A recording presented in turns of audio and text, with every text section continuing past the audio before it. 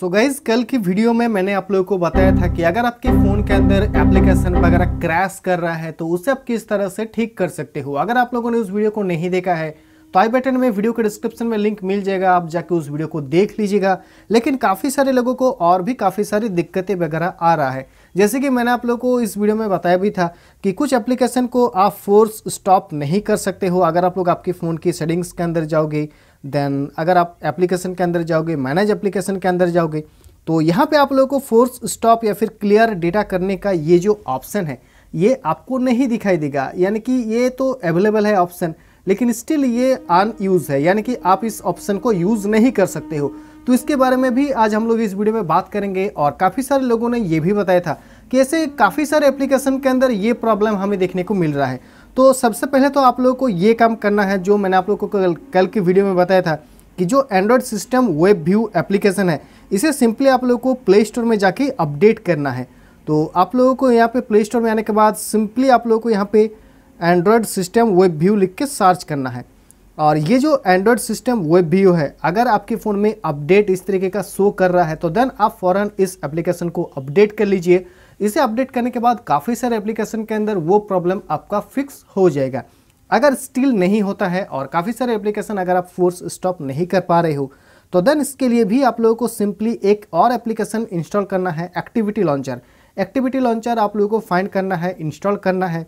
Activity launcher install होने के बाद आप लोगों को सिंपली इस एक्टिविटी लॉन्चर को ओपन करना है। और ये जो सर्च वाला आइकन है, यहाँ पे आप लोगों को आने के बाद सिंपली ऐप्स लिख के सर्च करना है।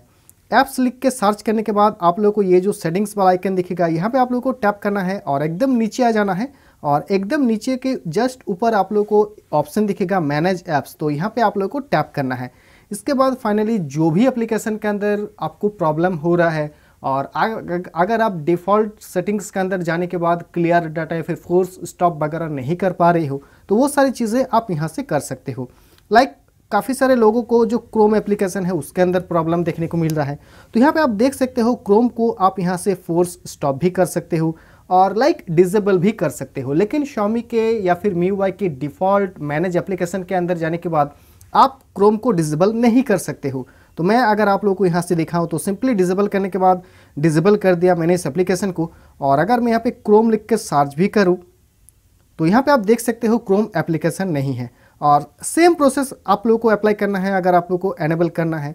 और अगर मैं इसे फिर से यहाँ पे एनेबल कर दिया, और इसके बाद अगर मैं फिर से यहाँ पे क्रोम लिख के सर्च करूँ तो यहाँ पे आप देख सकते हो क्रोम आ गया।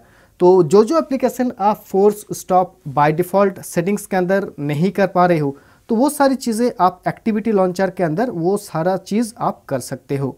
और स्टिल अगर ये सारी चीज़ें करने के बाद भी अगर आपके फ़ोन में वो प्रॉब्लम बार बार आ रहा है तो देन आप अपने फ़ोन को एक बार फॉर्मेट कर लीजिए।